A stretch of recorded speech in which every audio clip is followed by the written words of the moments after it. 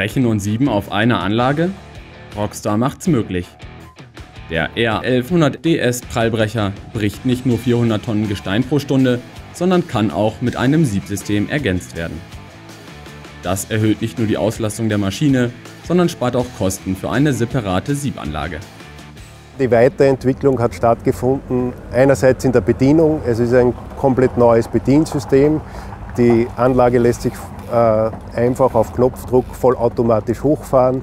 Es gibt eine vollhydraulische Spaltverstellung und es ist eine Weltneuheit, das ist das doppelfunktionale Retourband, wo das Überkorn, äh, welches aus der Seatbox kommt, einerseits als Haltenband verwendet werden kann und andererseits als geschlossener Kreislauf als Brechsystem verwendet werden kann.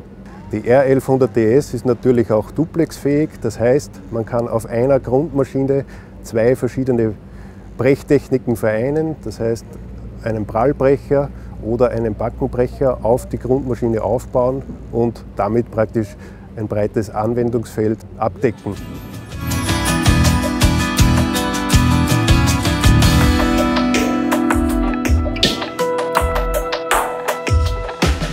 Bei der Motorisierung orientieren wir uns nach den Wünschen des Kunden. Wir können die Anlage mit CAT-Motoren ausstatten, wir können die Anlage mit Volvo-Motoren ausstatten, je nachdem, welche Abgasstufe gewünscht ist.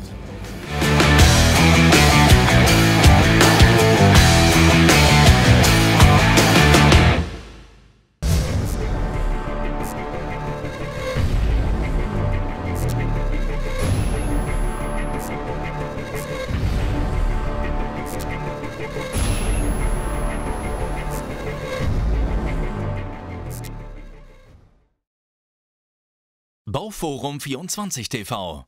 Construction in Motion.